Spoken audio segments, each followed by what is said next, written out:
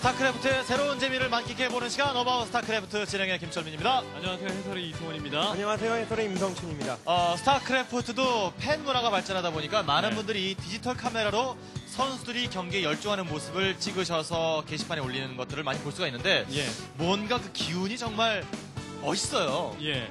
그 기운하니까 생각나는 그 일화가 있는데 예전에 에, 임성춘 해설이 변길섭 선수의 경기 전 준비하는 모습을 보고 야 변길섭 선수가 저런 식의 눈빛을 하면은 정말 이기기 어렵다 혹은 또 무섭다 이런 얘기를 한 적이 있었거든요. 어. 예. 예, 항상 그 그, 눈빛 아닌가요, 근데? 아닙니다. 그도 그 중요한 게 그 선수의 그 눈빛을 그날 보느냐 안 보느냐가 중요한데 만약에 보게 된다면 큰일 납니다. 예, 그 선수들 같은 경우는 눈빛이 무서운 데다가 눈에서 막 레이저 같은 게 나오는 것 같거든요. 임성춘 해설은 왕년의 눈빛 은 어땠나요? 예, 그 선수들이 제 눈을 봐야 되는데 안 보더라고요. 예, 뭔가 그 멋있는 것이 바로 뭔가 한 가지 몰두하는 것, 자신이 할 일을 열심히 한다는 것에서 바로 멋있는 것을 찾지 않을까라는 생각이 듭니다. 네. 자, 오늘도 저희도 어, 멋있는 모습을 보여드리기 위해서 열심히 진행을 한번 해보도록 하겠습니다. About 스타크래프트 시작합니다.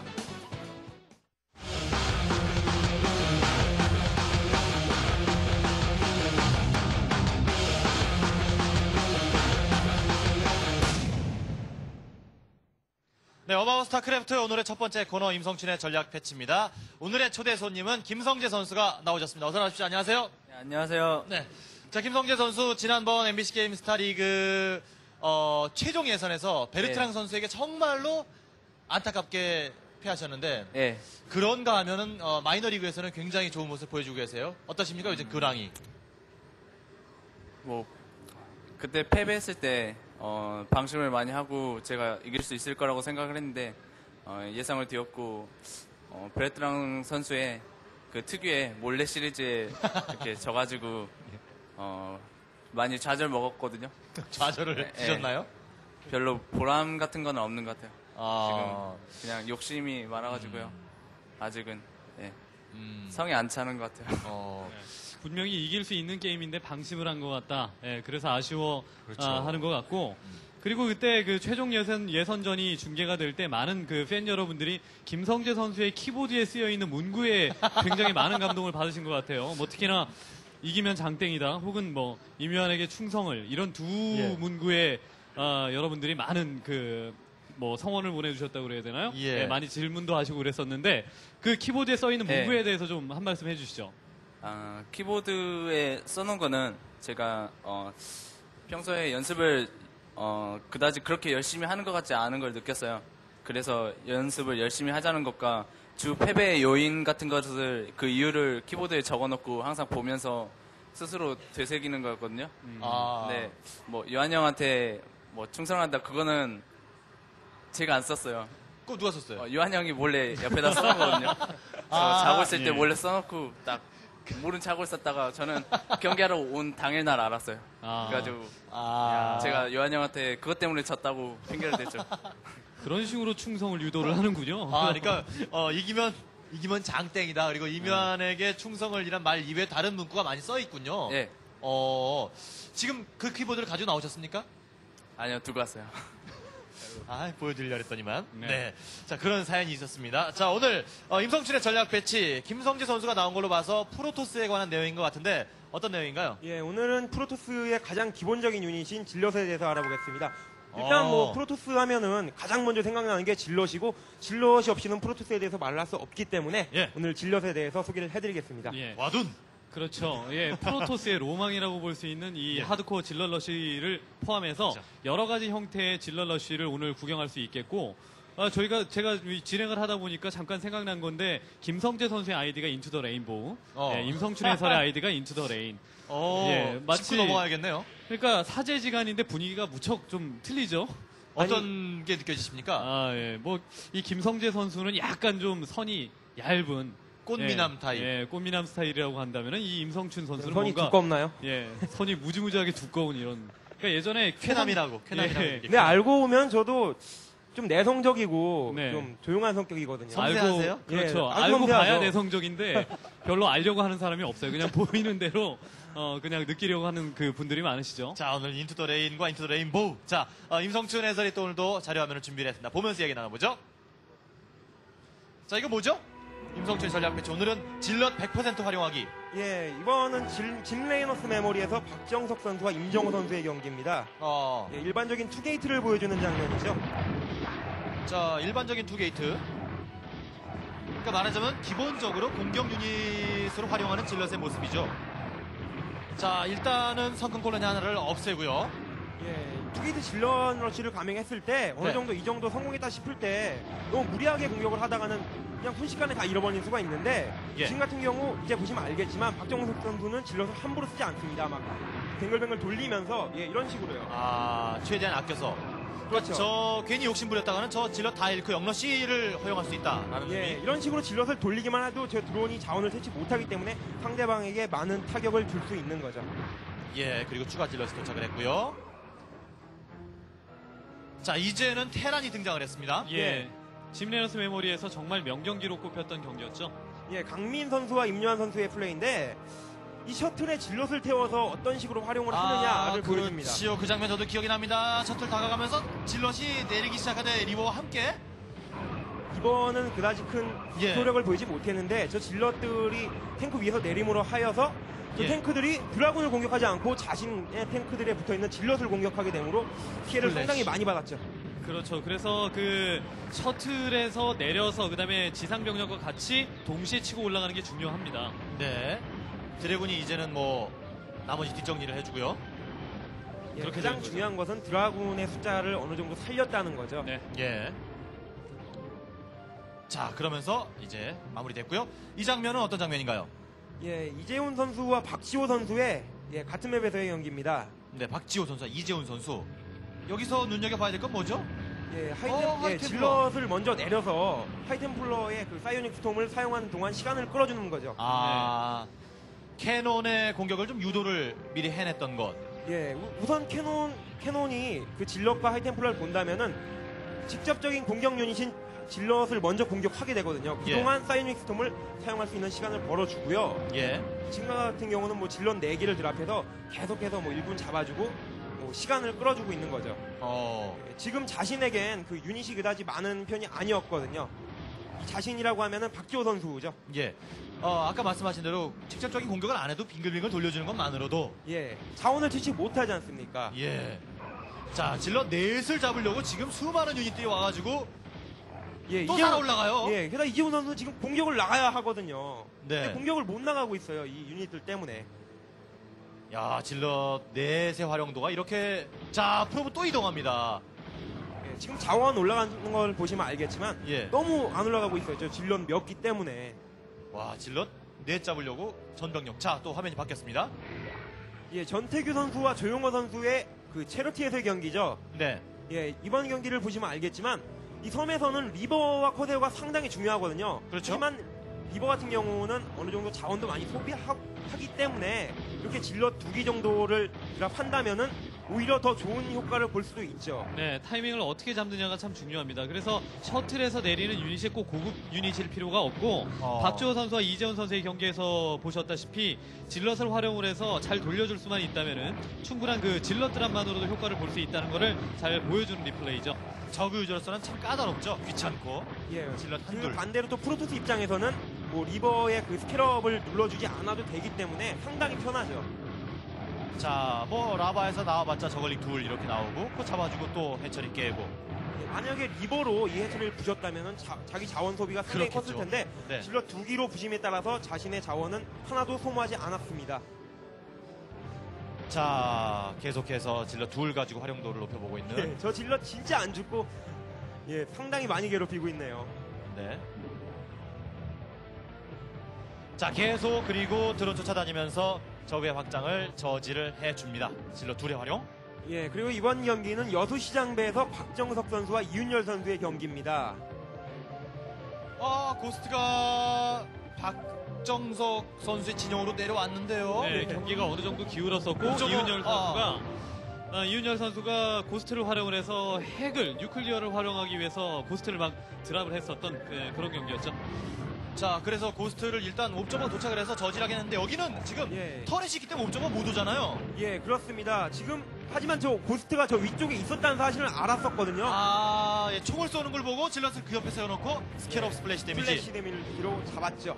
네, 옵저버 없이도. 그래서 이 kill수가 2가 기록이 되어 있는 모습을 함께 지켜보였습니다. 자, 어, 생각보다 다양하게 정말 우리가 Zealot 그러면 무더기로 몰려다니는 Zealot 떼를 생각하게 되는데 소수의 Zealot으로도 활용도가 충분히 올라갈 수 있다는 예, 걸 게다가 보여주네요. Zealot은 단순히 이렇게 가까이에 있는 유닛을 공격하기 위한 유닛이다 이렇게만 생각을 했는데 네.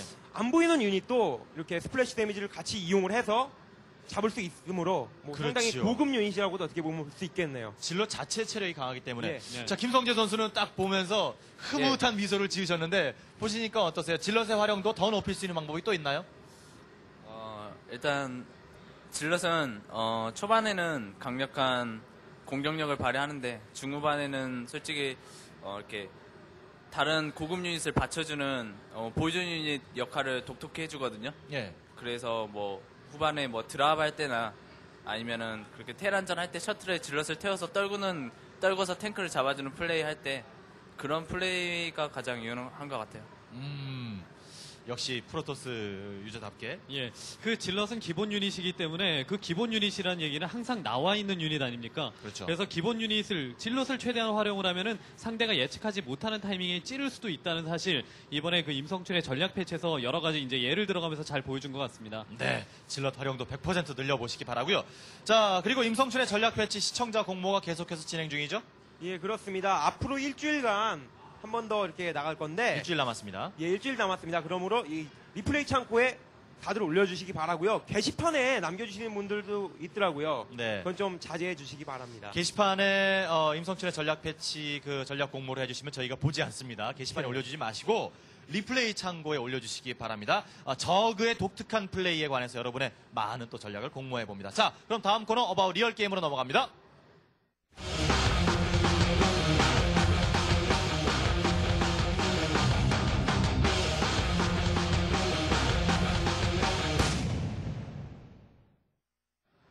네, About 스타크래프트의 전통 인기 코너 About Real Game이 시작이 되겠습니다. 오늘의 초대 신예 게이머로는 이주영 선수가 나오셨습니다. 어서 나오세요, 이주영 선수. 예, 안녕하세요. 이주영이라고 하고요. 어, MBC 게임 리그 쪽에서는 아예 모습을 못 보여드렸는데 앞으로 더욱 열심히 해서 다음 리그 때는 꼭 모습 보이도록 노력하겠습니다. 예. 아니, 저희가 시키지도 않았는데 좋은 말씀을 해주셨는데 예. 오늘 두 번째로 나오셨잖아요. 예, 어, About 스타크래프트에 두 번 나오기가 굉장히 어렵다는 거 알고 있습니까? 예, 그런데 성춘이 형 계셔가지고 그런 또 모, 좀. 모종의 관계가 있었나요? 예, 어느 정도 친분도 있지만 예, 예. 이렇게 이주영 선수가 정말 다시 한번 나오고 싶다. 어. 자신의 모든 걸 보여주겠다. 이런 식으로 말을 하더라고요. 네, 이주영 선수에 대한 뭐 자세한 소개를 좀 이승원 해설께서 해주시겠어요? 예, 이주영 선수는 그동안 아마추어 대회에서 두각을 나타내던 선수입니다. 그 네. MBC 게임의 루키 최강전에서도 한번 그 얼굴을 본 적이 있고 네. 예, 최근 이주영 선수의 플레이가 예전 같지 않다. 요즘 확실히 물이 올랐다. 이런 그 정보가 입수돼서 예, 이번에 저희 어바웃 스타크래프트의 신예 선수로 초빙을 해봤습니다. 네. 자, 이주영 선수. 예. 김성재 선수와 경기를 해보신 적이 있으신가요? 예, 대회 때 다른 방송사 대회에서 어. 한번 했고 WCG 이번 예선 때 한번 했거든요. 누가 이기셨나요? 예, 한판 이기고 한 판 지고 아, 1대1. 공평하게. 예. 이제 오늘 통해서 이제 기울겠네요. 그렇죠. 네. 오늘 멋진 모습 보여주시기 바라고. 김성재 선수. 어, 이주영 선수 어떤 선수라고 평가하고 계세요? 어, 게임 스타일이 어, 좀 정석적인데요. 굉장히 침착하고요. 어. 그리고 단단한 플레이를 하시는 것 같아요. 예. 프로토스 전에는 어떤 게 좀 특징인 것 같아요, 이주영 선수의 프로토스 전에 잘 쓰는 전략이라든가 뭐 전술들. 잘 쓰는 전략이라기보다 게임의 흐름을 잘 판단하는 것 같고요. 그리고 상대 선수가 어떻게 나오는지 잘 정찰한 다음에 그거에 맞춰서 유닛 숫자를 잘 생산해 주는 것 같습니다. 아, 어. 물량을 그래도, 예. 물량을 조절하는 능력과 그다음에 정석적인 스타일이다 이렇게 평가를 하셨네요. 이제 이기셔야겠죠. 네. 자, 그러면 About Real Game 김성재 선수와 이주영 선수의 경기를 시작해 보겠습니다.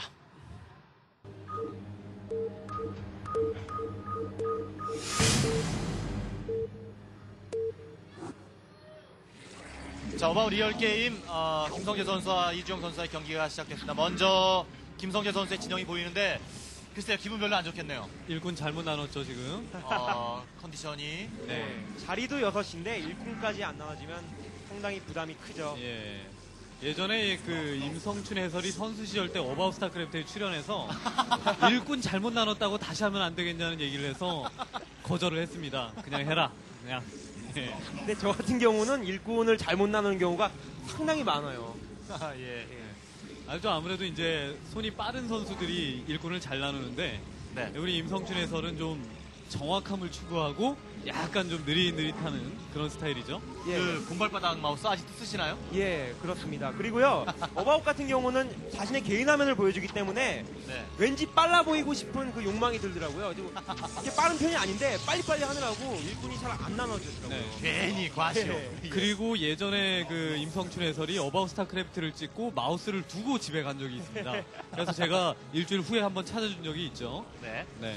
자, 아직까지 이주영 선수의 진영은 확인이 되지 않았습니다. map은 로스트 템플 MBC 게임. 네. 이주영 선수의 진영을 좀 확인을 해볼까요?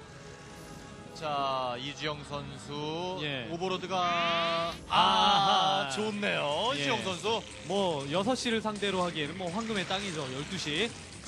기분 좋습니다. 예. 이주영 선수 12시 쪽. 저그. 2시 쪽에 프로토스가 없다는 사실 확인을 했고요. 그리고 프로브가 도착하는 그 시간에 따라서 김성재 선수가 어디 있는지 위치를 확인하게 될 겁니다. 대략적으로 6시라는 느낌이 들겠죠. 예. 어, 드론이 일단 나갑니다. 앞마당 쪽으로. 입구 쪽에 하나. 그리고 한 드론은 정찰을 8시 쪽으로 가는 듯 합니다. 12도는 앞마당이고요. 네. 지금 프로 어, 드론이 8시 쪽으로 저만큼 가고 있는데 프로브를 안 마주쳤다면은 지금 타이밍에 들어왔으면 아 6시겠구나 파일런 정찰이겠구나 이주영 선수도 알 수 있겠죠. 자, 김성재 선수, 이주영 선수의 진영을 확인을 합니다. 네. 아, 스포닝풀 마치 저쪽에 지으려고 하는 듯이. 예, 보통은 이렇게 가스 채취에 어느 정도 영향을 주거든요. 저 가스 바로 옆에다 지으면은 그렇죠. 약간은 원활하게 캘 수가 있는데 그것을 방해하죠, 보통은. 네. 김성재 선수의 화면을 좀 봤으면 좋겠는데요. 자, 이제 오늘의 초대 네. 게이머인 김성재 선수.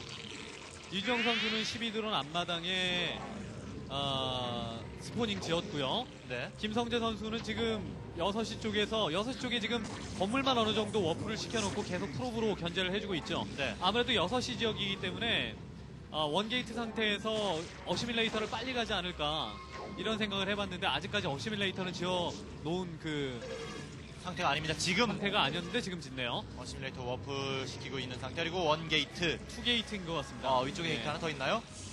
그리고 김성재 선수는 어, 화면 지정을 참 많이 바꿉니다. 그러니까 본진 같은 경우는 어, F2, 네. F2 키로 이제 화면 지정이 자동으로 되어 있으니까 본진으로 어, 화면 지정을 해놓고요. 그 다음에 앞마당 쪽에 만약에 확장을 하게 되면 F3으로 쉬프트 F3을 누르면 화면 지정이 되지 않습니까? 예. 어. 예, 질럿이 벌써 하나 도착을 했어요. 네, 그러나 효과 보기가 힘들죠. 네. 이게 6시와 12시 사이의 거리이기 때문에 그렇습니다. 자, 질럿 하나 들어와서 일단 드론을 강제 어택 해보려고 하고 있는 김성재 선수. 아까 우리 임성춘의 전략 패치에서 보여줬던 zealot 활용도 높이기. 예, 게다가 지금 one gate인데 이렇게 zealot이 초반부터 모자라는 상황에서 저렇게 zealot을 감행했다면은 네. 드론을 잡는다기보다는 아 one gate가 아니 two gate지만 네. zealot보다는 이렇게 tech tree에 의존하는 지금 build order거든요. 초반에 그 zealot을 드론을 꼭 잡는다기보다는 최대한 시간을 끌어주면서 zergling을 많이 생산하게 하는 게 주 목표인데 예. 지금은 그다지 효력을 발휘하지 못했네요. 네. 네. 그래도 드론 한 기는 잡고 어, zealot 한 기가 초반에 들어갔던 zealot 한 기가 잡혔죠. two gate 상태에서 그러니까 상황에 따라서 상황에 맞춰가겠다는 build인데 어, two gate를 초반에 올- warp를 먼저 assimilator보다 어, 먼저 warp를 하면서 zealot을 어느 정도 생산을 했고요. 그 다음에 네. 이제 가스를 어, 채취를 해가면서 어, 이제 tech tree 위주의 그러니까 발업되는 타이밍에 어, 상대의 앞마당 쪽이라든가 본진 쪽으로 압박을 해주는 그런 식의 build라고 볼 수가 있겠습니다. 자, 이주영 선수 zergling으로 시비를 해봅니다.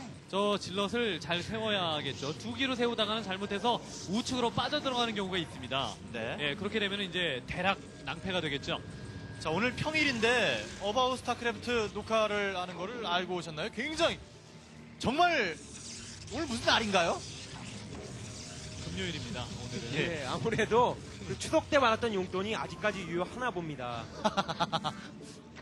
예, 요 저- 용돈 예. 가지고 저 같은 경우는 이렇게 용돈이 없을 때는 밖을 잘 안 나가거든요. 예. 저희 어바웃 스타크래프트 어, 방청은 돈이 안 드는데요. 그래도 일단 밖에 나왔으면은 뭐 친구와 밥이라도 함께 하던가 하는데 어느 정도의 돈이 필요하기 때문에 네. 자, 일단 입구 쪽을 두들겨 보고 있는 이주영 선수. 아, 살짝 좋네요. 들어, 한 마리가 들어왔어요. 자, 이거 뭐, 예, 한기 정도, 한 마리, 아, zergling 한 기 정도만 들어왔기 때문에 그나마 좀 다행이긴 합니다만은. 네. 예, zergling이 뭐, 한 반 부대 이상 나왔, 들어왔다든가, 이러면 시간 제대로 끌리죠. 그렇죠. 뭐, 자. two gate 상태이기 때문에 병력들 충원이 one gate 상태보단 빠르기 때문에 좀 낫습니다만은. 지금 speed up을 먼저 누르지 않고 two gate 상태에서, 아, 예, 그, 저, templar archive, templar archive를 먼저 누른 상태거든요. 네. 이렇게 되면은 이제 templar 생산을 하면서 앞마당 쪽에 확장을 하겠다는 것이고, 예, 발업이 되었을 때는 상대 지역으로 압박을 가는 아, 척만 할 가능성이 높습니다. 예. 자, 계속해서 질, 어, zealot 생산해주고 있는 김성재 선수. 예, 그러고요. 예, zealot의 스피드 업그레이드를 찍어놓은 상태에서 네. templar archive를 같이 짓는다면 zealot의 발 업그레이드가 완성된 시점에 templar 두 기를 만들어서 아콘을 합체하면은 동시에 되거든요. 어, 그렇게 활용도를 높여보겠다. 예, 그럴 수도 있고요. 이승원 해설의 말씀처럼 templar만 생산을 한 후에 앞마당 multi를 빨리 가져가는 수도 있고요. 자, 이주영 선수는 과연 어떤 tech tree를 타고 네. 있는지 궁금해집니다. 지금은 그렇죠. 보다 야. 수비적인 게 낫습니다. 아무래도. 왜냐하면 러시 거리가 멀고 러시 거리가 먼 상태에서 이동을 할 때 이동을 하는 와중에 상대에게 걸릴 만한 가능성이 높지 않습니까? 네. 그러다 보면은 그동안 가는 동안에 벌써 대비가 다 돼 있고 밖으로 나가 있던 병력이라고 할지라도 도- 어, 본진 안으로 다시 들어오는 가능성이 높, 들어와서 대비를 할 가능성이 높기 때문에 네. 지금은 최대한 수비적으로 상대가 spire tech를 어느 정도 어, 뭐 선택을 하든지 아니면은 자, 적지 않은 숫자 zergling 일단 한번 찔러보고 있는 이주영 선수 신속하게 입구 쪽. 예, 우선은 저 zergling을 못 들어가게 하는 게 가장 큰 임무입니다. 그렇죠. 지금 같은 경우는 앞마당에 최대한 빨리 cannon을 건설하고 multi를 해야 되는데 네. 저 zergling 진짜 들어오면은 상당히 오래 시간을 끌게 되거든요. 정신없죠. 네. 그리고 앞마당 쪽에 photon cannon을 설, 그 건설을 하는 게 왜 지금 이 타이밍이 중요하냐면은 lair tech가 올라간 이후에 만약에 이주영 선수가 lurker를 선택을 한다면은요. lurker로 선, lurker를 선택을 했을 때 앞마당 쪽에 아까 그 지점에 photon cannon이 있으면 그 이상 예, 전진할 수가 없지 않습니까? 네. 예, 그런 입장. 방어 라인을 구축, 구축을 앞쪽으로 해놓는 그 방법이 지금으로서는 되게 굉장히 좀 필요한 상태죠. 자, 일단 nexus 하나 더 앞마당 가져가기 선택하고 있는 김성재 아, 선수. 아무래도 어, burrow 돼 예. 있는 것 같아요.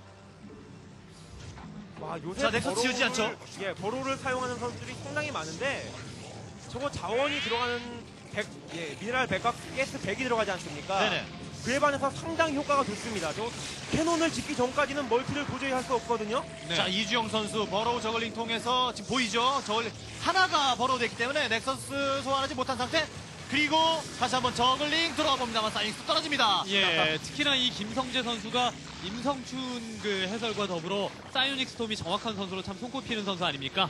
네, 자 cannon 세 기가 소환된다면은 자, 네, 거기다가. 예, 하이템플러가 잡혔네요. 잡힙니다.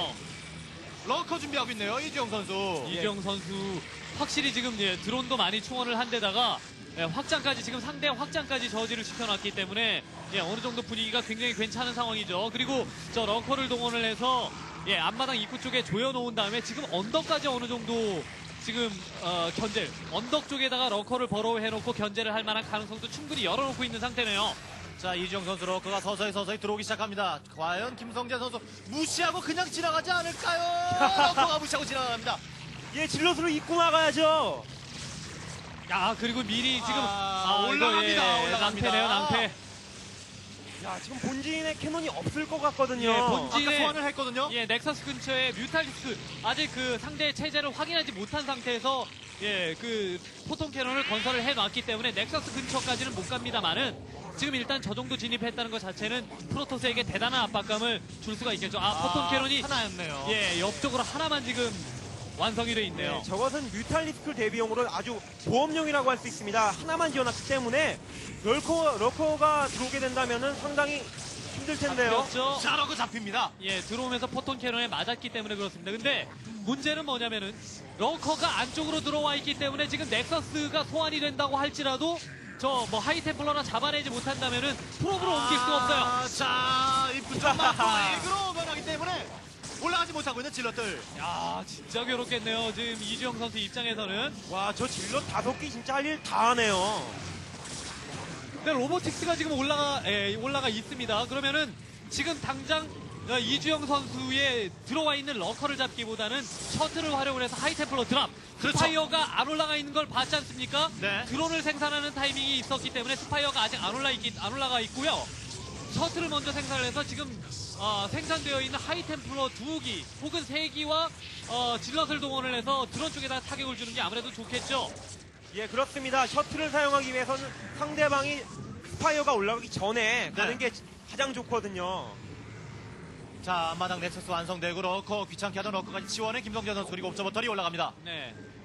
만약에 김성제 선수가 아까 Zealot 다섯 개를 이용해서 상대방의 미네랄 멀티를 견제해주고 예, 드론을 어느 정도 잡아줬는데 그렇게 하지 아- 않았다면 네. 상당히 힘들었을 겁니다. 자, 왜냐면 예. 말씀하시죠. 예, 상당히 힘들었던 예, 힘들겠다는 이유가 저그가 어느 정도 아. 프로토스에게 이렇게 멀티를 내주고 났을 후에는 어느 정도 드론을 많이 생산하고 추가 멀티를 하나 해야 되는데 네. 그걸 늦췄, 다는 것은 선수에게 아, 상당히 큰 본인들 피해인데요. 아니에요. 내주로 아이, 들어오는 것이 맞춰는 예. 과연 야, 이거는 진짜 치명적으로 작용할 만한 가능성이 높거든요. 이걸 막아내지 못한다면은 파일럿 한 개 의존하고 있는 게이트 4개입니다. 아, 게이트웨이 4개가 Pylon 하나에 의존하고 있는데 그 Pylon 아직까지 깨지지 않고 있습니다. 그리고 막아낸 듯 합니다. 예, 한 가지 더 중요한 건 지금 Observer가 아직 안 나온 상태예요. 어, 로봇. Robotics Facility가 아, 셔틀이 좀 안 나온 상태로 파괴됐죠. 네, 예, 셔틀을 하나 더 누른 모양입니다.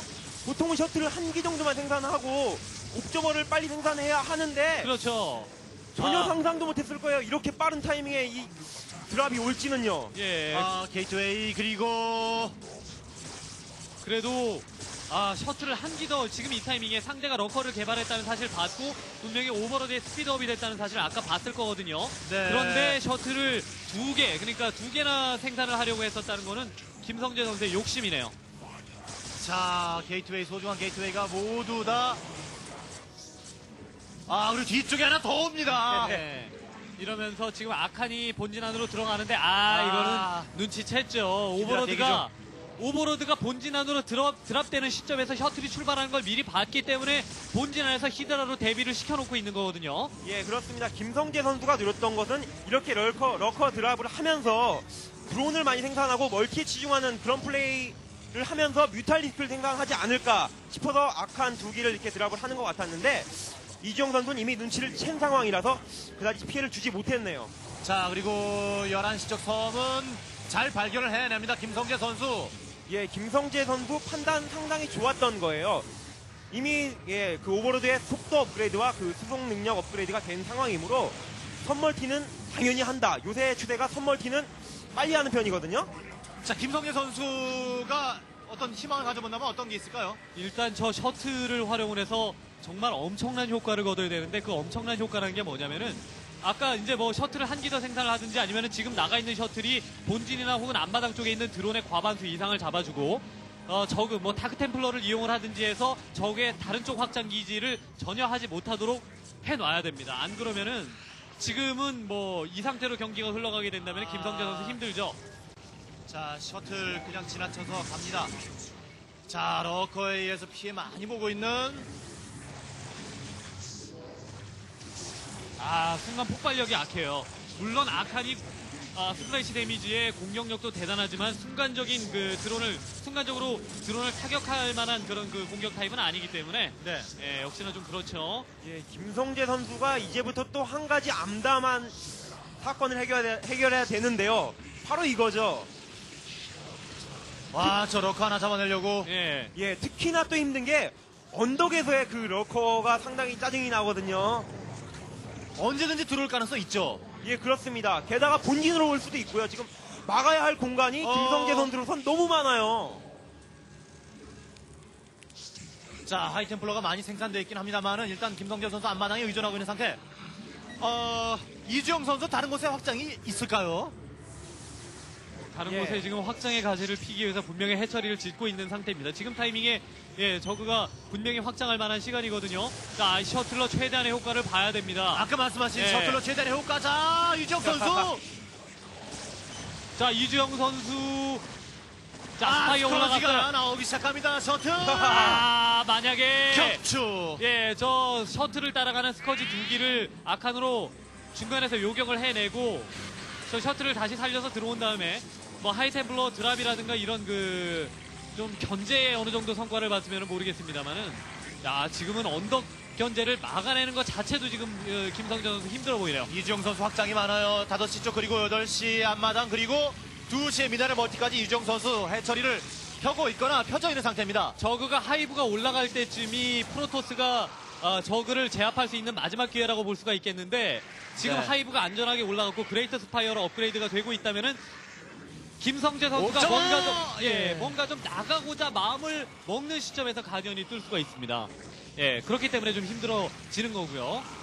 예. 또 중요한 건 guardian을 만약에 막았다 하더라도 그 뒤에 또 가장 무서운 것이 기다리고 있죠. 울트라 말씀이신가요? 예, 마- 맞습니다. 자, 6시 프로토스의 비행가요. 삽으로서 보시기 어떻습니까? 예, 상당히 우선 안타깝긴 한데요. 네. 만약에 아까 전에 그 셔틀을 한 기만 생산하고 옵저버를 재빨리 생산을 했으면은 이 정도의 피해까지는 안, 안 입었을 텐데요. 자, 뒤쪽으로 자. 들어가면서 천지 스톱을 야. 빼옵니다. 자, 정확히 그 하이템플러의 간격을 보고 예, attack 땅을 했기 때문에 저런 식으로 천지 storm이 나가는 겁니다. 네. 그런데 확장 많아요. 야. 그래서 zealot 둘이 어느샌가 빠져나와서 2시 앞마당 쪽은 파괴합니다. 예, 이주영 선수 눈치를 못 챘었는데요. zealot이 그렇게 많은 숫자가 아니었는데 반해 hatchery가 상당히 빨리 파괴가 됐네요. 아까 저희가 보여드렸잖아요. 임성춘의 전략 배치. 예, 그렇습니다. 네. 자, 다시 김성재 선수 화면을 보고 계십니다. 권투에도 그런 게 있지 않습니까? 상대가 무방비 상태에서 맞는 펀치보다 크로스 카운터가 더 충격이 가, 아, 가해진다고요. 지금 같은 경우는 크로스 카운터인 격이겠죠. 아, 이주영 선수가 김성재 선수의 미네랄 확장 기지로 공격을 오는 시점에서 zealot이 drop이 됐기 때문에 네. 전혀 눈치, 눈치채고 있는 상태가 아니었습니다. 네, 그렇기 때문에 hatchery가 파괴가 되는지도 몰랐죠. 자, high templar 다수가 지금 보유되어 있는 상황. 예, 그러나 주력이 지금은 high templar와 archon으로밖에는 구성이 안 되어 있기 때문에 실제적으로 물량으로 밀어치기 시작하면 속수무책으로 당할 수밖에 없습니다. 김성진 선수 아직 5시 확인 못했죠. 네. 얼마나 방어를 잘하느냐가 중요한데요, 이제부터. 자, 하이템플러 다수의 활용도 과연 자, 공격받는다는 메시지가 뜨기 시작합니다.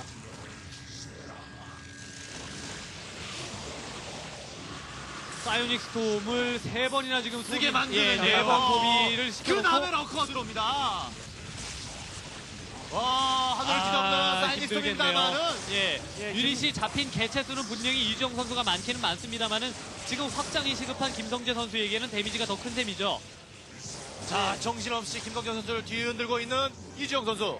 예, 게다가 김성재 선수는 지금 미네랄이 상당히 부족한 편이기 때문에 질럿을 많이 만들 수가 없는 상황이거든요.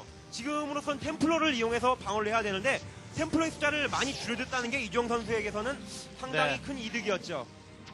이제는 어, 후속타로 가디언이 준비가 되고 있을 거거든요. 그렇겠죠. 네, 김성재 선수가 앞마당에 넥서스를 짓고 그 다음에 이제 프로브를 붙이는 시점에서 가디언이 언덕 쪽에서 들이닥칠 가능성도 충분히 있습니다. 지금은. 자, 이거는 캐논을 위한 건가요? 예. 미네랄 부족하는 상황에서도 캐논을 건설하겠다는 김성재 선수. 자, 아슬아슬한 순간 파일런 취소합니다. 예, 방금 병력 전에- 너무 부족해요. 예, 병력이 아주 부족하죠. 병력이 아주 부족한 상황에서 아까 전 제 위치에 캐논을 건설했다면은 어떻게 보면 자신에 있어서 손해를 넣어볼 수가 있거든요. 이종 선수는 자원이 어차피 넘치는 상황입니다. 아, 넘치네요. 넘쳐나는 자원 이주영 선수. 네, 거기다 이제 저글링 위주로 어, 병력을 구성을 하면서 가스를 모으지 않습니까? 예, 가스를 모으게 되면은 뭐 울트라 리스크뿐만 아니라 뭐 defiler, 뭐 자신이 마음 먹은 대로 그 가스 유닛들을 양산을 해낼 수가 있는 자, 거죠. 내려오기 시작합니다. 내려오기 시작합니다. 이주영 선수. 맞습니다. 자, 적절한 타이밍에 psionic storm을 뿌려야 될 텐데요. 이거는 두 줄기네요, 두 줄기. 자, probe 대피하면서 그리고 양쪽으로 내려오고 있는 이주영 선수. 그래서 psionic 막아내고 storm의 있어요. psionic storm의 정확함은 정말 발군이에요. 예, 이주영 선수가 경악할 만한 수준이 아닌가 싶습니다. 계속되는 이주영 선수의 공격. 자, 과연 이번에도 막아낼 수 있을 것인지요? 예, 보통은 이런 경우가 됐을 때 저그 유저들의 그 마음은 지질 테면 지져라. 난 보낸다. 예, 그냥 어택 당해서 보내면 된다 이런 생각을 가지고 보내죠. 예, 병력의 교환의 그 의미. 방법 중에 예. 하나거든요. 자, 그 이 김성재 선수 이럴 때 다크템플러 한둘 그냥 슬쩍슬쩍 운영해 보는 것 좋지 않을까요? 예, 오버로드가 이제 그 수송선 업그레이드가 아, 저 스피드 업그레이드가 미리 애초부터 돼 있었지 않습니까? 아, 그리고 예, 네. 병력 구성 자체가 지금 zergling이 힘을 쓸 수 있는 시기이기 때문에 아, 지금은 뭐 dark templar는 그냥 dark templar는 힘들고요. 자, 그래도 최대한 multi 견제해보고 있는 그런데 언덕 위쪽에 러커가 자, scourge가 observer를 노리고 있습니다. 들어오는 zergling 향해서 archon이 되기 때문에 아, zergling 드디어 울트라. 보이네요. 드디어 나왔어요. 와, 언덕 쪽에서 만약에 저 photon cannon이 미리 몇 개 좀 지어져 있으면은 보다 더 많은 효과를 볼 수가 오, 있었겠는데 그래도 김성재 선수 psi storm 지금 방청석에서 우아우아 소리 나올만 하죠. 네. psionic storm의 어떤 그 정확한 활용도 중요합니다만은 ultralisk가 죽어야 말이죠. 지금은. 네. 역시 ultra입니다. 네. 예, 게다가 김성재 선수 초반 그 자원의 압박에 의해서 포지를 한 개밖에 아직까지 못 돌리고 있었거든요. 네. 업그레이드에서 상당히 뒤쳐져 있어요, 지금. 자, 이제 이- 잠시 후면 예. 울트라가 닥치겠죠. 그렇습니다. 울트라리스크가 거의 풀업된 상태에서 아무래도 닥쳐올 텐데. 자, 사이닉스톰 어. 아. 예, 어쨌든 그래도 자원은 넉넉해요. 예, 꽤 많이 잡았고요. ultralisk를 상대하기 위한 병력 조합은 아칸이 많든가 아니면은 그 stargate를 올린 다음에 corsair와 dark templar를 어느 정도 활용을 하는 그런 방법이 중요하겠는데 지금으로서는 이주영 선수가 그렇게 큰 빈틈은 없어 보입니다. 자, zealot 하나가 살아 올라갔습니다. 그리고 예. dark templar 생산하고 있는 김성재 선수. 김성재 선수가 그래도 게임을 게임의 지금 어려운 상황을 돌파하기 위해서 그 돌파구를 제대로 찾는 건데요. 잘 보여주고 있어요. 끊임없이 이제는 물량으로서는 상대가 안 됩니다. 지금 예 corsair와 dark templar 조합을 하고 있죠. 저런 technical한 조합을 구성을 하면서 셔틀의 high templar라든가 zealot 혹은 악한 조합으로서 끊임없이 견제를 해줘야 됩니다. 드론수 줄여줘야 돼요. 그러면서 방어에 몇 번 성공을 하다 보면은 적어도 어느 정도 이제 자원이 떨어지는 그 시기가 오거든요. 네. 그때는 이제 technical한 조합으로 제압을 하는 겁니다. 그 방법밖에 지금은 없어요. 자, corsair가 생산되고 있습니다만은 김성재 선수 여러모로 고통을 겪고 있습니다. 예, 다수의 지금 photon cannon도 거의 소용이 없는 조합이 이제는 곧, 곧 닥쳐오게 됩니다. 아, 옵저버 대기 중이네요. 네, 여기 병력이 없다면 저 병력으로 sunken colony 두 개만 지금 파괴하면 되거든요. 네. 뒤이어서 dark가 내려오나요? dark templar가 네. 아니고 다 잡혔죠? 예. 자, 김성재 선수 시간은 자, 어, ultra가 조우. psionic storm 샤워가 떨어집니다만 아. ultra는 ultra. 그래도 김성재 선수가 눈치 잘 채고 잘 덤벼들었죠, 지금 같은 경우는. 자, 김성재 선수 그래도 미네랄은 좀 모아놨는데 가스가 너무 부족해요. 네. 가스가 굉장히 부족한 상황, photon cannon, 게이트를 더 아, 늘리는가. queen도 등장합니다. 와, 하늘을 뒤덮는 자, 이게 뭡니까? 그래요? 도망을 못 가고 있어요. 야, 상대가 지금 dark templar를 조합한다 싶으니까 ensnare를 뿌리면 보이거든요. 자, 저거 그대로 저 병력 잡아내리고 그 다음에 미네랄 확장 기지로 ultralisk 닥치기 시작하면 막아낼 병력이 없습니다. 네, corsair가 있긴 합니다만은 미네랄은 이런데 가스가 없어요. 주력 병력이 당했죠. 지금 당장 병력을 생산할 수가 없으니까 모든 미네랄을 지금 그 photon cannon에다가 소비를 해야 될 때입니다. 한 번은 방어를 해내야 되거든요. 어쨌든 예, 업그레이드에서 밀린다는 와. 것 자체가 상당히 불안하네요. 지금 같은 경우는 최소한 공격력 3단계 정도는 업그레이드가 돼 있어야 되거든요. 네. 저글링이 방어력이 3단계가 되더라도 아칸의 공격력이 3단계가 되면은 진짜 막 한 번의 공격이 여러 마리씩 막 자, 붙일 수가 자, 있는데 보토캐는 완성되기 바로 1분 직전에 들이닥치는 자 모을 만큼 모았다는 이철 얘기입니다. 선수! 이거는 애누리 없이 밀립니다. 이거는 예, 김성재 선수 지금 건물 참 잘 지어놨어요. 저런 식으로 건물을 지어놓으면은 ultralisk가 막 함부로 이렇게 공격을 못 하거든요. 자, 그래도 숫자를 많이 줄여주긴 했습니다만 상대가 ultra를 운영하고 있기 때문에 네 이제는 저 병력에다가 이제 zergling이 주고 한 번만 더 들이닥치게 되면은 오, 막아내는 것 어, 같은데요. 막아내는 김성재 선수. photon cannon과 dark templar의 위력입니다. 커세의 활용이 아주 적절하게 먹혀 들어갔죠. 아, 김성재 선수 그래도 힘들다는 듯이 볼을 잔뜩 부풀려 버리는데 또 다시 한번 들이닥치고 있는 이제 소수예요. 프로브가 많이 살아남아 있는가요? 야 다크템플러와 그 다음에 뭐 다크템플러는 신경도 안 쓰겠다는 듯이 병력이 내려옵니다만은 일단은 조합 자체죠. 예, 커세어를 잡아낼 수 있는 조합을 이정 선수도 구현을 해놔야겠죠. 예, 이주영 선수 어느 정도 자원에 영향을 그다지 받지 않고 막 고급 유닛을 생산할 수 있을 정도면은 네. ultra와 hydralisk의 어느 정도 조합도 괜찮습니다. 자, 또다시 소수가 내려옵니다. 이주영 선수도 상당히 많은 수의 병력을 쓰지 않았나라는 생각을 들, 들게 하는데 확장이 워낙 많아서요. 예, 지금 같은 경우는 ultra와 hydralisk를 공격 보내면서 저 corsair가 overlord를 잡을 때 hydralisk로 corsair만 잡아주면은 더 이상 뭐 가스 부족한 상황에서 김성재 선수가 생각할 수 있는 조합이 없거든요. 아, 여기 아직 아직 아직 예. 그렇죠. 이 overlord 지원하면 dark templar가 떨어지겠죠. 위쪽으로. 자, 일단 5시 섬멀티는 아, probe도 내렸었는데 probe 한 기는 지금 파괴가 됐고요. 예, 지금 가스가 절실한 상황이니까 5시라도 그냥 뺏어서 먹자 이 생각이겠네요.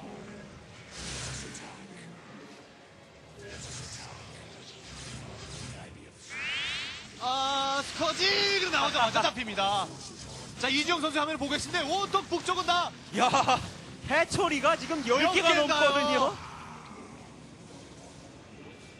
전정을 다 먹었죠. 네. 아, 그래도 김성현 선수 선방해주고 있어요. 잠깐 이주영 선수의 화면을 못 본 사이에 진짜 해처리가 끝도 없이 늘어났네요. 할 말이 무한 없네요. 예. 그, 저, 저 해철에서 나오는 유닛들을 막는 김성재 선수도 대단하지만, 예, 어쨌든 경기 운영 초반부터 이런 식으로 잘 이끌어온 그 이주영 선수의 능력도 정말 대단합니다. 지금 이, 또 예. 막은 것 같거든요. 분위기상으로 어, 봤을 때는. 도망 갔죠. 이주영 선수 미네랄 100대 그리고 가스 200대 그리고 유닛수는 어, 160대로 보이고 있는데요. 야, 예. 예, 온통 해철에다가 울트리스크를 찍어놨기 때문에 아, 자원을 한꺼번에 소비를 한 것 같고요. 아, 챔버가 많아요. 네. 예, 예.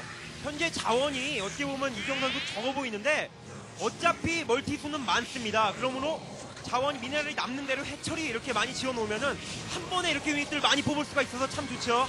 자, 측면과 함께 양쪽으로 밀고 들어오고 있는 이주영 선수.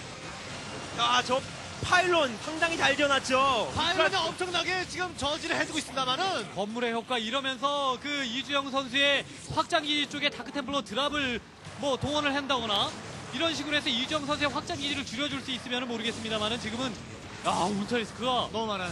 너무 많네요. 예, 이 장면 프로토스 유저분들 잘 보고 계셔야 됩니다. 지금 파일론과 건물을 이용한 이 방어법 김성재 선수가 확실하게 보여주고 있습니다. 또 막아낼 것 같은데요?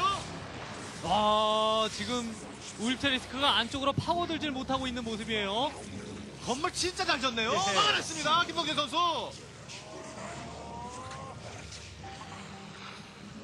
아, 예. 멀티를 한두 군데만 덮어줄 수 있다면 김성재 선수에게도 서광이 비칠 것 같은데. 그렇습니다. 앞마당에 미네랄이 떨어졌다는 건 곧 있으면 민나 아, 앞마당에 그 가스 가스까지 다 떨어질 상황이라고 볼 수 있거든요. 자, 또 들이닥치는 이정 선수 쉴새 없이 경력을 어택 딱 찍고 있습니다. 사이닉스톰 이번에는 과연 뚫릴까요? 이번에는 뚫릴까요? 안 뚫립니다. 안 뚫립니다. 예. 파고들 만한 공간이 없으니까 와. 야 진짜 징하네요. 예 건물의 예술입니다 이거는. 지금쯤이면 지금 이주영 선수 업그레이드가 풀 업그레이드가 됐을 상황일 텐데 네, 아무래도 김성재 선수는 지금 쉴드 같은 경우는 아예 업그레이드가 안 돼 있는 상황이에요. 그래도 이 정도까지 버티고 있다는 것만으로 정말 너무너무나 김성재 선수 잘해주고 있네요. 울트라 리스크가 생산이 돼서 어느 정도 업그레이드가 되었을 때 이주영 선수가 초반에 어, 러시 타이밍을 잡았지 않습니까? 네. 예, 사실 그 타이밍에 대부분 많이 밀리는데 지금 같은 경우는 김성재 선수의 방어 라인이 너무나도 좀 적절하고 좋았죠. 자. 저, 예, 저 커세어는 진짜 장수하네요. 살아남아야만 되는 커세어죠. 예, 미네랄 확장 기지에 지금 자원이 거의 다 떨어져 가고 있는데 글쎄요 셔틀을 동원을 해서 어쨌든 이 2시 쪽에 지금 이주영 선수의 확장 기지 쪽에 드론에 타격을 주고요. 그다음에 이제 어 뭐 방어하는 방법이라든가 이제 방어를 한 두 번 정도까지만 성공을 하게 되면 이 성확장 기지가 완전하게 활성화될 것 같거든요. 지금 드론이 5시 지역에 한 마리 있었거든요. 네. 자, 이제 미네랄 멀티 쪽 미네랄도 거의 고갈되어가는 상황이 김- 김성재 선수. overlord는 정말 많이 잡아주고 있는데 예, 커세어의 지금 역할이 대단히 지금 중요했습니다. 또 들어오나요? 또 아쉽네요. 들어오나요? 공격력이 1단계 업그레이드된 corsair가 한 부대 정도만 있었으면은 어느 정도 효과를 발휘할 수 있었을 텐데요. 커세어 다크가요. 예, 아무래도 그렇게 되면 overlord를 많이 잡히기 때문에 scourge를 뽑아야 되거든요. 아, spore colony가 있네요. 앞마당 쪽에는 없는 것 같습니다만은 아! 살았어요. 살아남았습니다. 따라가고 있는 overlord의 모습도 보이죠. 예, 이런 상황이 됐을 때 Zerg user분들이 배워야 할 점은 저렇게 spore colony를 한 개씩은 예, 멀티 지역에 지원해야 된다는 겁니다. 이렇게 기습적인 dark drop이 올 경우에는 쓸데없는 타격이거든요. 어떻게 보면 자, 다크템플러 활용해서 계속해서 줄여줘 봅니다만은 이쪽에 김성재 선수의 젖줄. 아, 아드레날린 업저글링이 들이닥치면서 김성재 선수 고개를 살짝살짝 가로줘 봅니다.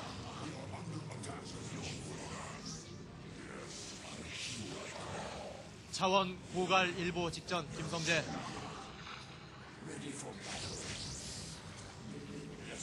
다섯 시만 예, 안정적으로 돌아가게 됐으면은 어느 정도 멋있는 모습, 예, 김성재 선수의 멋있는 모습을 다시 더 오랫동안 이렇게 볼 수 있었을지 모르겠는데 옵니다. 지금 좀 힘드네요.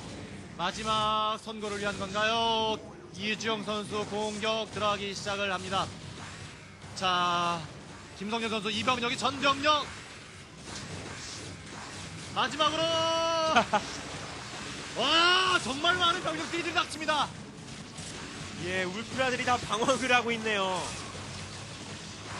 아 김성재 선수 훌륭하게 막아내주고 있습니다만 이번에는 대단하네요. 그리고 다크테플러 계속 지금 효과 보고 있습니다. 8시 쪽 앞마당에서. 이번에도 막아냈나요? 야 다시 대단하네요. 호퇴하는 이주영 선수. 예.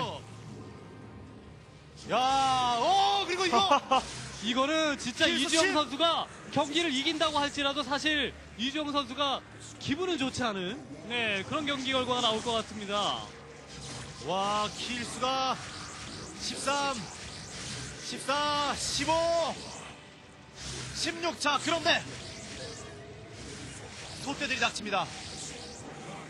결국 저 다크템플러가 잡힌다고 할지라도 자기의 성과는 다 거둔 상태이기 때문에. 이주영 선수는 자원은 있는데 해처리는 많은데 이거 도대체 김성재 선수가 뚫려야 지금 경기를 마무리할 그러게 수 말이에요. 있죠. 정말 잘 막았는데. 자, 이주영 선수 하면 좀 보죠. 도대체 자원 상황이나 인구수가 어떻게 되는지. 예, 만약에 5시 돌아갔으면은 이주영 선수 한 30분 정도는 더 고생하지 9,000 입니다. 않았을까 자원이 싶습니다. 9,000이고요. 미네랄 9천. 미네랄 9천에 가스가 2,600입니다. 절대 질 수 없는 저 인구수 상태에서는 199, 200풀. 예, 저 상태에는 질 수가 없는 그 자원 양을 보이고 있, 있기는 있습니다만은 도대체 김성재 선수가 안 뚫려주니까 오히려 지금 심리 상태로서는 이주영 선수보다는 김성재 선수가 마음이 더 편하겠다는 생각이 들어요. 예, 어차피 불리하더라도 보여줄 건 다 보여줬다 이거죠. 그렇죠. 자, 다시 이제 김성재 선수의 시점으로 넘어가 보죠. 김성재 선수 과연 어떻게 막아내고 있는지.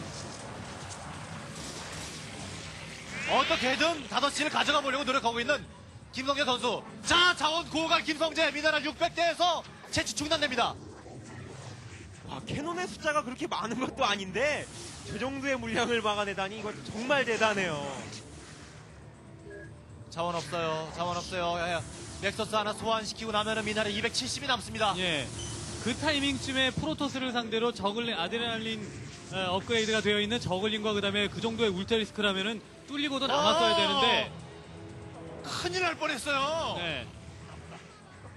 벽에 다시 미나랄 400 날아갈 뻔했습니다. 그리고 예, 까지 벽에 딱 붙어서 가거나 아니면은 그 뭐 커세어가 있다면은 아, 옵니다, 옵니다, 옵니다, 옵니다. 울트리스크 떨어지죠 이제는. 김성재 선수. 저 셔틀에는 프로브가 타고 있는데 지금 프로브가 드랍을 가나요? 김성재 예. 선수 마지막 뺏어버리겠다는 얘기죠. 한 군데 해철이 접어버리고 그다음에 어, 장렬하게 프로브로서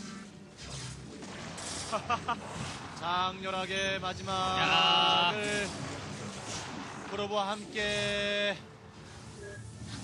프로브가 내립니다. 아 릴레이 채취 혹시 셔틀 채취하겠다는 건가요? 예, 지금 상황에서 프로브로 저 울트라이스크를 공격한다 아, 해도 사이닉 스톰 장관을 연출하고 있는 김성재 선수. 예, 지금 공격을 한다 해도 아, 데미지가 1도 안 나와요. 예, 두 번의 공격을 해야 1 정도가 달까 할 겁니다, 지금. 야, 자 자, 김성재 선수 최선을 다했습니다. 많은 자원은 670에서 정지되어 있는 상태. 예, 김성재 선수 지금 표정이 액션이 파괴하는 프로모 지지 경기 마무리됩니다. 네, 오늘의 초대 게이머 김성재 선수 그리고 초대 신예 게이머 어, 이주영 선수 정말 어, 혈전 35분이 넘는 about real game 혈전을 보여주셨습니다. 정말 너무너무 수고하셨고 네, 승자가 따로 없는 경기가 아니었을까라는 생각이 듭니다. 자, 이제 이것을 여러분께 고스란히 돌려드려야겠죠. real tips 이어지겠습니다.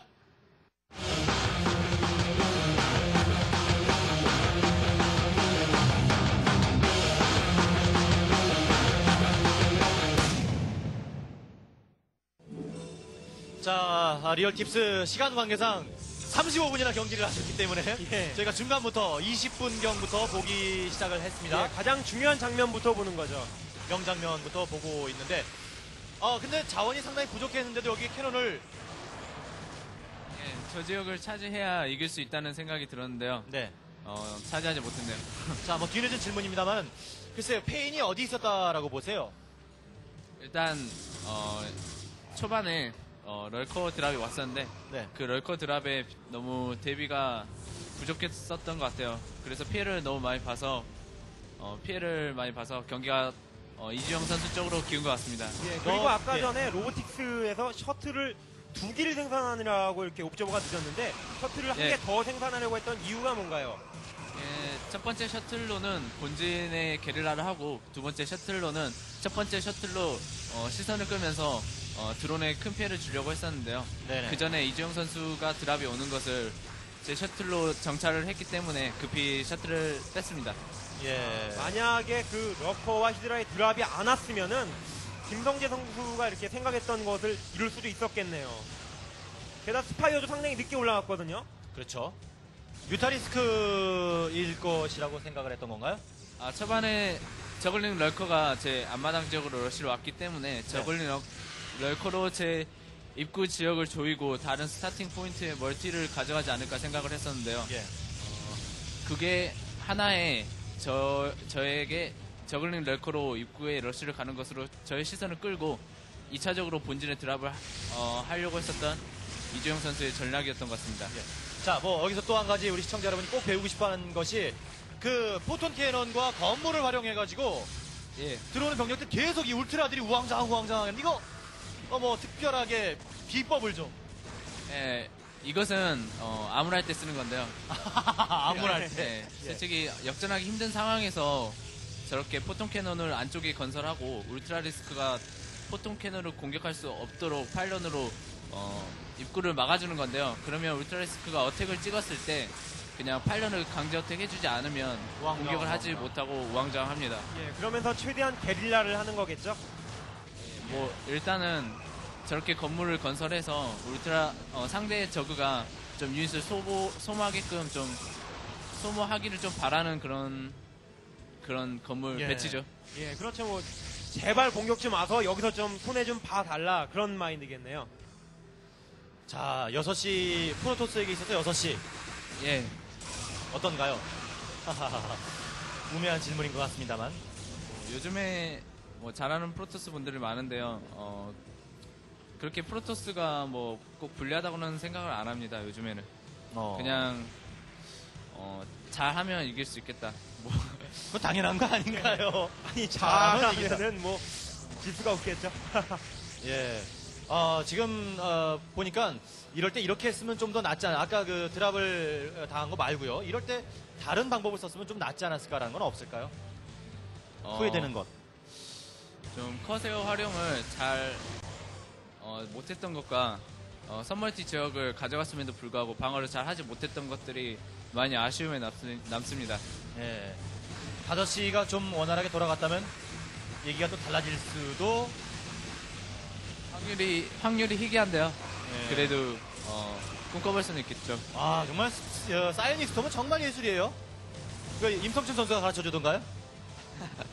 원래 요새 같은 경우는 다 잘 사용하는데 김성재 선수는 또 침착하거든요. 예. 침착하니까 이렇게 psionic storm을 더 잘 쏘겠죠.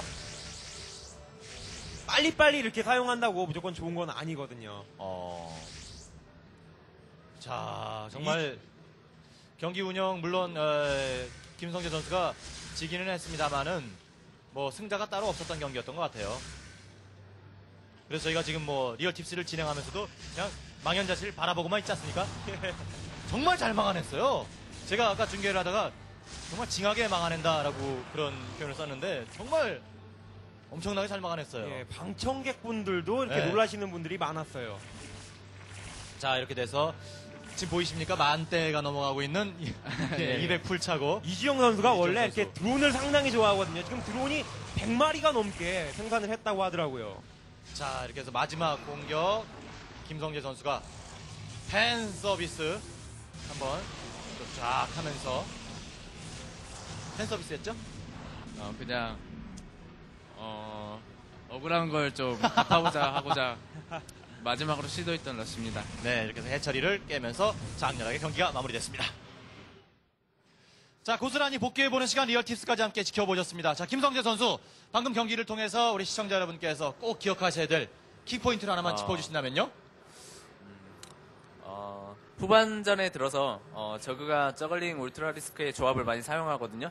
그게 정말 강력하기 때문에 어, 프로토스 입장에서는 좀 유닛을 아껴야 될 상황이 있어요. 그리고 피해를 최소화시켜야 되는데 울트라 리스크를 수비할 때 어, 그냥 수비하기보다는 울트라 리스크가 어, 효과적으로 공격할 수 없도록 어, 건물 배치를 어, ultralisk가 들어올 수 없도록 photon cannon을 안쪽에다 건설을 하고 pylon으로 photon 주위에 건설을 해서 ultralisk가 pylon은 바로 공격할 수 없도록 그렇게 건설해 주는 게 어, 좋은 것 같습니다. 네. 아까 그 zergling과 ultra가 들이닥쳤을 때 임성춘 해설의 표정을 보셨나 모르겠는데 그때 한번 멋진 장면 연출했었죠, 마에스트로? 예, 그, 그때는 아, 그 그래도 약간- 초반에 제가 어느 정도 이렇게 유리한 분위기로 나갔었는데 네. 이번에 그 김성재 선수가 초반에 아까 말씀하셨듯이 이렇게 셔틀 두 기를 이용한 게릴라를 하려고 했는데 그것을 네. 못했던 게 좀 컸네요. 네. 어쨌든간 수고하셨습니다, 김성재 선수. 네. 네. 김성재 선수와 이주영 선수의 about real game 그리고 real tips까지 함께 지켜보겠습니다. 다음 코너는 나의 스타일기입니다.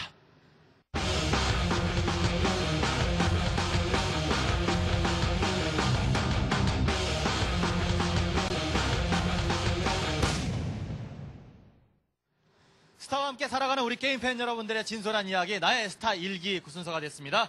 추석이 지나가는 동안 엄청난 양의 스타 일기장이 도착을 했습니다. 몇 개나 도착한 줄 아세요? 예, 몇 개일까요? 450개가 도착을 했는데 약 450개가 도착을 했는데 어 그래서 혹시 자료실이 모자라지 않을까 그리고 네. 또한 이거 보내드리면 다 보십니까 라고 의문점을 품으시는 분들이 계시는데 일단은 게시판은 제발 올려주지 마세요. 게시판은 안 되고요. 어, 리플레이 창고에 함께 올려주셔야 됩니다. 게시판에 올려주시면 저희가 보지 않겠습니다.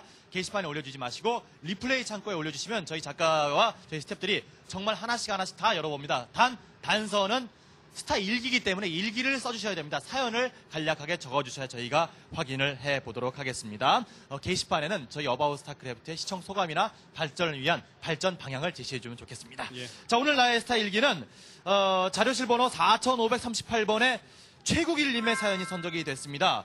약간 좀 낯 익은 이름인데 왜 낯이 익냐면은요. 이 최국일님이 줄기차게 저희 나의 스타 일기에 스타 일기를 올려주시는 분들인데 채택이 안 됐었거든요 그동안. 예. 동일한 전략을 가지고 올려주시다가 계속 실패하는 장면을 올려주셨는데 드디어 성공을 하셨다고 합니다. 예, 그렇습니다. 네. 그래서 어, 리플레이 사연의 제목을 보니까 3전 4기 이렇게 예, 네. 돼 있더라고요. 그래서 자, 예. 예, 성공한 전략을 이번에 선보이시겠다고 나의 스타일기에 사연을 보내주셨습니다. 자, 최국일님의 스타 일기장을 살짝 엿보도록 하겠습니다. 자, 스타 일기장 펼쳐졌습니다. 지금 보시는 6시 쪽 테란이 바로, 어, 자료실 번호 4538번의 최국일님이고요. 그리고 8시에 프로토스가 바로 상대방입니다. 과연 어떤 모습이 나타나게 되는지 지켜봐 주시기 바라고요 예, 초반부터 지금 SCV가 나가고 있네요. 저건 정찰을 빨리 하겠다는 건가요? 그럴까요, 과연? 그렇다면 나의 스타일기에 선택이 되지 않았겠지요. 자, 일단, 어, 프로토스의 진영을 확인을 했어요. 예, 근데 이렇게 빨리 이렇게 확인을 할 필요가 있을까요, 굳이? 예, 자, SCV가 보십시오. 두기 나갔죠? SCV가 두기 나가고 남의 집을 예. 아니 왜 남의 집을 막아주나요? 프로토스의 입구 쪽을 그러니까 이, 이 짓을 하시다가 계속 망하신 거예요. 근데 네. 드디어 하나 한탕을 성공을 하시고 예. 기쁜 나머지 저희 About StarCraft 제작진에게 보내주셨는데 일단 Protoss의 진영을 막아놓고 있습니다. 아니 왜 막을까요? 근데 가장 궁금한 게 그거거든요. 어, 글쎄요, 그 속을 제가 어떻게 알겠습니까? 예. 그러면서 벙커까지. 벙커까지? 친절하게 건설을 해주고. 자, Probe 봤어요. 이거 뭐야? Probe가 봤는데, 어, 그것도 SCV를 잡아내고요. 자, 이제는 아직 자기 자신의 진영을 지어지지도 못하게 하고 있어요. 자, 그러면 이제 Protoss가 어떻게 대처를 할까요? 자, 임성춘 해설이라면 과연 이 경우에 어떻게 하시겠습니까? 예, 저 같으면 그냥 에이 지을 대로 지어라 하고 Dragoon을 예, 사정거리 업된 Dragoon을 생각하겠죠. 예, 그렇다면 우리 상대방 Protoss는 여기다 Factory까지 져요. 아예 그냥 집안은 방 빼고 여기다 살림 다 차립니다. 전진 Factory를 보여주겠다는 거였어요. 아니 지금 Dark Templar를 생산하려고 하는 것 같은데요. 그래서 자, 어, 야, 좀 완벽하게 다 방어를 하려고 하는데요. 나름대로 머리는 쓰셨어요. 우리 최국일님이. 자, 보시기 바랍니다. 아, 이 뭐 Engineering Bay 올라가는 타이밍이라든가 이런 걸 보니까 Dark Templar는 아무래도 힘들어 보이겠네요. 이거는 Robotics를 올린 다음에 뭐 Reaver 계열이라든가 아니면 게이트 숫자를 확보를 해서 물량으로 뚫어내지 않으면은 뚫기 힘들어 자, 보입니다. 그렇죠. Turret까지 완성돼 있고 네. Factory에서 Factory 유닛이 나오기 시작하기 때문에 자, 이 Protoss 과연 자, 딱 건물만 봐도 낭패가 보이죠, 지금은. Templar Archives가 올라가고 난 이후에 사거리 업을 돌리고 거기다 Robotics까지 올라간 모습이 보이지 않습니까? 자, 그래서 셔틀을 네. 셔틀을 한번 써보자라고 우리 상대방 프로토스는 생각을 합니다. 자, 셔틀에 다크템플러 자, 불이 타고 예, 갑니다. 유일한 방법은 바로 이거죠. 근데 갔더니만 갔더니만 자 탱크는 복역하기 시작하고요. 벙커까지 지어져 있어요. 아이고 할일다 하시는 분이에요. 작정, 벙커- 작정하고 지금 하는 거기 아, 때문에. 예. 벙커가 지금 두 개예요 본진에. 그러니까 이 이 이 행동을 네 번. 어, 째 성공을 하신 거예요. 자, 경기가 마무리됐습니다. 예. 짜증나서 나간 것 같아요, 이거는. 자, 김성 선수. 자, 이 일기장을 보시고 한 말씀 부탁드립니다. 어, 정말 상식을 깨고요. 정말 난감하네요. 네. 난감하죠. 그런데 어, 이제 오늘의 초대 게이머로서 이럴 경우에는 어떻게 대처를 어, 저 같으면 어, 상대 Terran이 입구를 막는 어, 제 입구를 막는다는 것은 거기서부터 쪼이기 라인을 건설하겠다는 건데요. 그냥 그 쪼이기 라인을 무시한 채 그냥 제가 Reaver라는 유닛을 자주 사용하거든요. 아. 그냥 Reaver를 사용해서 어, 상대 Terran의 본진을 노려보지 않을까 그런 생각을 Reaver가. 예. Reaver가 있었군요. 예. 근데 아, 그 방금 전과 같은 경우는 벙커를 두 개로 이렇게 막 완벽하게 방어를 해놓더라고요. 네. 그 게다가 또 Protoss를 플레이하시는 분이 초반에 이제 경기에 딱 시작하자마자 아, 이 Terran을 상대로 해서는 Dark Templar를 써야겠다고 마음 먹고 들어온 상태라서 예. 예, 어떻게 보면은 좀 전략에 맞물렸다고 볼 수가 있겠죠. 예. 자, 이렇게 해서 오늘 나의 스타 일기는 최국일님의 어, 일기장을 봤는데 아무래도 최국일님 앞으로 계속해서 줄기차게 나의 스타 일기에 일기장 올리시지 않을까라는 네. 생각이 듭니다. 아이디를 공개를 해버려야겠어요. 예, 공개방에서 이런 아, 예, 엽기를 피하시라고. 예, 엽기를 당하지 마시라고. 자, 네, 오늘 About StarCraft 이제 마무리 지을 시간이 됐는데 김성재 선수 우리 어, 카메라를 보시고 팬 여러분들께 예. 한 말씀 부탁드리겠습니다. 어, 항상 어, 저를 응원해 주신 분들 감사하고요. 어, 좋은 성적을 잘 못 내고 있는데 열심히 해서 언젠가 꼭 좋은 성적 내겠습니다. 예. 뭐 언제 나와도 똑같은 말이에요. 좋은 성적 거두겠습니다. 예. 다음에 다음에 또 부를 테니까요. 그때 레파토리를 좀 바꿔서 예. 예, 뭐 곧 그런 기회가 오겠죠. 김성재 선수 뭐 마이너에서 좋은 모습 보여주고 있으니까요. 그렇습니다. 네. 자, About StarCraft 이제 마무리 공지를 해주셔야죠. 예, 마무리 공지입니다. 임성춘의 전략 패치 시청자 전략 공모를 아직까지 하고 있습니다. 그래서 어, 적의 특이한 전략에 관해서 게시판에 올려주시고요. 네. 그리고 나의 스타 일기 역시 리플레이로 사연을 받기는 받는데 아까 말씀을 드리, 드렸다시피 리플레이 창고에 사연과 리플레이를 올려주시기 바랍니다. 저희 어, MBC 게임 홈페이지 주소는 www.mbcgame.co.kr입니다. 네. 네, 저희는 다음 주 이 시간에 좀 더 알찬 수업 내용을 가지고 찾아올 것을 약속드릴 테니까요. 수업 시간 늦지 마시기 바랍니다. About StarCraft 여기서 문 닫겠습니다. 안녕히 계십시오.